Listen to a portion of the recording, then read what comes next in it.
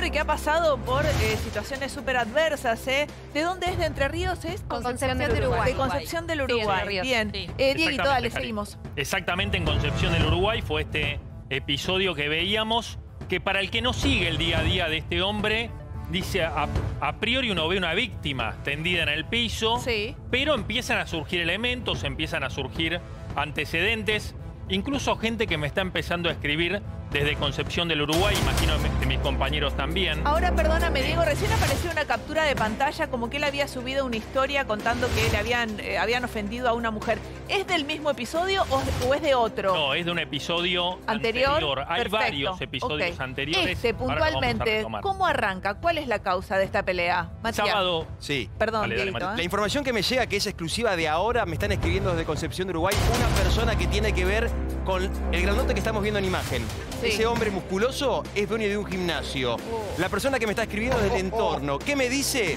Que Emanuel, el cantante de qué personajes, con la camioneta habría querido atropellar a esa persona. Ah, por eso lo faja como lo faja. Esa persona logra salir de esa situación riesgosa porque lo pudo haber atropellado con la camioneta. Sí. Baja el cantante con la manopla y le quiere pegar. Ahí, este hombre musculoso que estamos viendo de contextura grande, con la mano abierta, impacta sobre la cabeza del cantante, Claro. cae al piso y ahí agarra la manopla, la muestra en cámara para decir Te- lo que había pasado. te pregunto, Ah, Mati, no que sé- la muestre, ¿no? Porque le dice a Exacto. esa chica. El tema es que hacía con la manopla Por eso la esta, policía lo esa detiene. es otra cuestión. Por ¿Vos eso la policía lo detiene. manopla? A ver. Diego. Al principio había una versión respecto a que había una- un conflicto previo Sí. entre estas personas Sí. y lo que hace Manuel Noir es ir a buscar.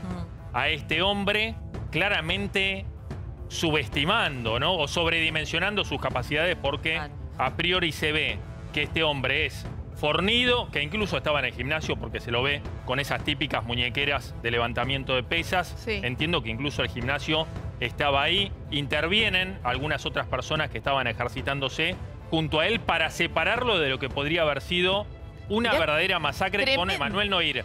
Noqueado y que así todo le quería hacer frente. Tremendo Sí. cómo lo agarra del cogote. ¿Ustedes vieron? Le vamos a pedir a la producción que vuelva a poner esa imagen. Lo agarra del cogote, lo domina, lo pone contra el piso y le pega un par de cachetazos en la cabeza Y y lo deja. Otra imagen más previa en una de las historias que sube Manuel Noir junto a su novia y se ve como la novia en el regazo tenía una botella de cerveza, es decir, uno puede presuponer que de mínima ya venía tomado, ¿no? A ver, Manuel sí. Noir, Eso- que eso- se envalentonó y Ese punto es interesante porque hasta hace no mucho, bueno, lo veíamos en el informe, la entrevista que le hizo Gastón Paul, él habla sobre, eh, digamos, eh, el consumo de alcohol y de drogas y él contaba que eh, desde hacía mucho tiempo estaba limpio. Sí, Entonces, es una pena también darnos cuenta o enterarnos que eh, quizás también esto, esta agresión viene producto del consumo de alcohol. Totalmente. Ahora, Matías, te pido por favor que retomes esta información que te acaba de llegar, que es exclusiva de la tarde, y cómo se origina esta riña.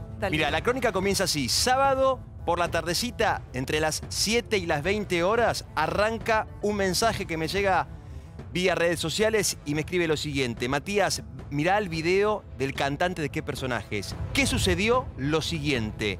Emanuel quiso atropellar con la camioneta al dueño de un gimnasio de CrossFit muy reconocido en Concepción del Uruguay. Esta situación generó el asombro de todos los que estaban ahí porque no entendían la secuencia. Una secuencia que hoy se está investigando. Sí. Como no puede atropellar a este hombre, baja de la camioneta con una manopla metálica y lo intenta Tremendo. golpear. Por